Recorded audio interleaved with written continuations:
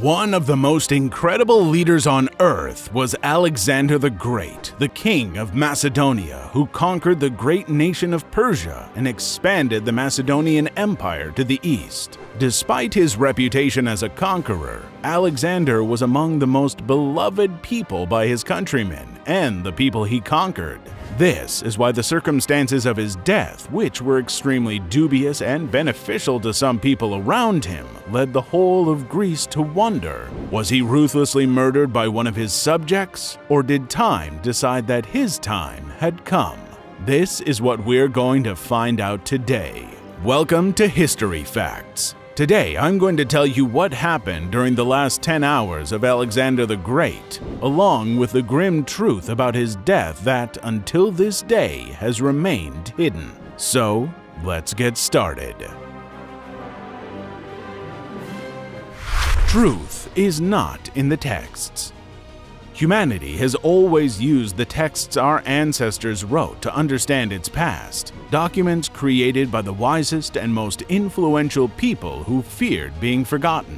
This means that many people and generals around Alexander the Great published their memoirs and wrote their own accounts before meeting their deaths. Considering these ancient texts, we might think that they are a reliable source of information to discover the secret of Alexander the Great's end. But unfortunately, things are not as simple as they seem at first glance. The ancient texts might not be the key to understanding the death of Alexander the Great, since each of the people surrounding Alexander had their own reputations to protect. So none of them would openly admit to regicide not even after their deaths. Put another way, we can't even rely on anyone's written word.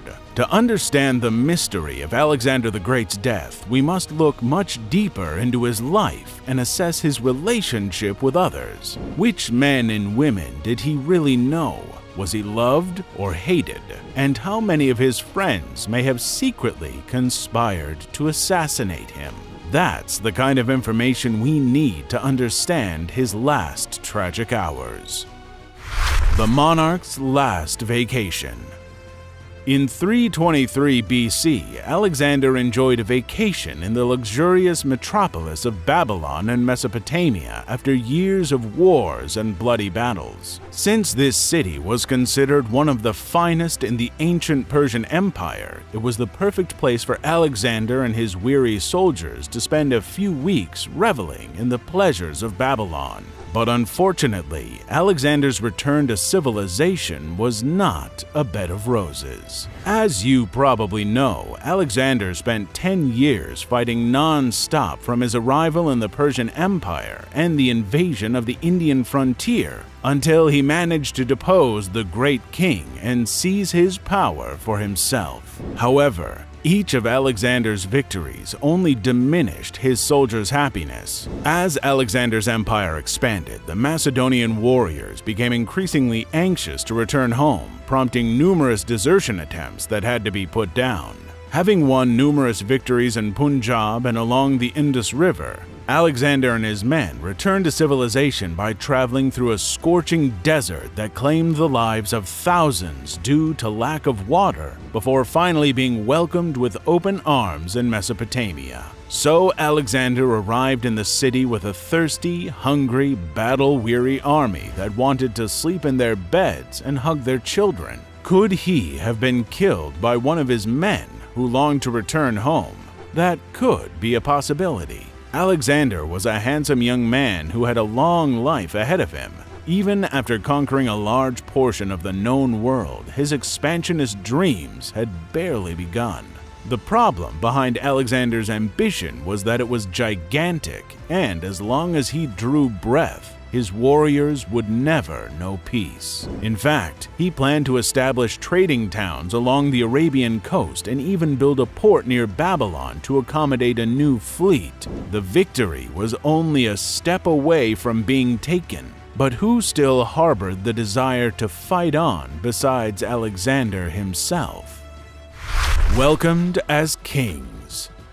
Alexander and his men were quickly welcomed in Babylon by the end of May, sheltered from the relentless summer heat. Fortunately, the city had all the comforts they needed to ensure their good rest. Water was everywhere thanks to the Euphrates River that flowed through the city's center, and the high walls protected the city from the dangers of the world. Wildlife outside the town was also abundant, so if they stayed, they would be able to exist for a long time. Among all the incredible things Alexander and his men encountered in Babylon, one always caused the Macedonians to marvel the Hanging Gardens. One of the seven wonders of the ancient world was built by the greatest king of the Neo-Babylonian Empire, Nebuchadnezzar II. Despite the great comforts the palace offered, Alexander preferred to spend his day with his men rather than living in the city, so he spent his time in the royal tent or sailing on the river aboard a boat. Whether in the palace or camp, Alexander oversaw preparations for his Arabian expedition and put his soldiers through an intensive training program. Even the warships competed to win Alexander's favor and receive a golden crown for their excellent work. After a long day of training, Alexander decided to reward his soldiers with a majestic banquet to celebrate the end of their last campaign and the birth of a new one the expansion of Arabia, and this could have been the cause of Alexander's death. If Alexander was assassinated, as many historians suspect, the person responsible for killing him and stopping his expansionist plans must have been present at this banquet. The question is, who and when? Betrayal never comes from an enemy. Back to the banquet, the celebrations were filled with food and drink, including disproportionate amounts of wine and sacrifices, as one would expect from a royal feast. The guest of honor at the table was his fleet admiral, the Greek Nearchus, a loyal follower of Alexander, though not among those men who had followed him since childhood. According to the custom among civilized participants in a feast, only one began to drink in earnest once the meal was finished. The wine was a bit syrupy and could have a high alcohol content compared to today's vintages, so it was usually served diluted with water. But as soon as they finished eating, the Macedonians demonstrated their great reputation as drunkards by taking large quantities of alcohol until they passed out. Meanwhile, the master of ceremonies decided how much water to mix in the wine. Each cup was individual and servants used large ladles to serve them. This information is vital to understanding Alexander the Great's end because it could be the clue historians need to find his murderer, the one responsible for poisoning Alexander's drink without anyone noticing. After toasting each of the 20 most important men at the party, Alexander went to an evening party with his friend Medius, where he continued drinking before going to bed. The next day, things became much more complicated.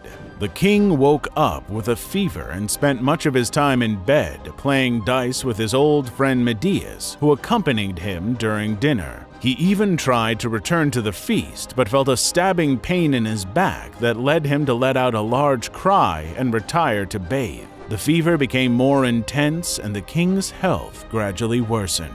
However, that did not stop Alexander from spending the day listening to Nearchus's anecdotes and instructing his officers to prepare for the upcoming Arabian campaign. On the morning of the third day, the Macedonians made their usually daily sacrifice to ask the gods to watch over their king and the army but their prayers went unheeded. Unfortunately, Alexander's health worsened to such a degree that he had to be taken by boat to the Hanging Gardens, where he spent his last hours enjoying the calm coolness of the gardens. The fever continued to increase until one night it became evident to all present that the king was dying. Having lost his ability to speak, Alexander handed over his ring to his superior general, Perdiccas, temporarily transferring power to him. The situation caused a rumor to spread that the king was dead, leading to soldiers crowding the palace entrance, shouting and threatening to start a mutiny. Despite losing the ability to speak, Alexander did his best to greet each of his soldiers. All of them were allowed to visit him on the condition that they enter without cloak and armor. For this reason, a second door was opened through the dormitory wall so that the Macedonians could walk through more easily and pay their respects to their dying leader. When someone asked to whom he was leaving the kingdom, Alexander replied that he was leaving it to the strongest. But his most memorable answer was to Perdiccas's question, When do you wish divine honors to be done to you? the general asked. When all of you are happy Alexander replied. With those words, one of the world's most fabulous kings departed the world, leaving a great void on the throne of Macedonia that would lead to a period of war and chaos that would ravage the land for 40 years. That's all for now. See you in the next video with another interesting topic.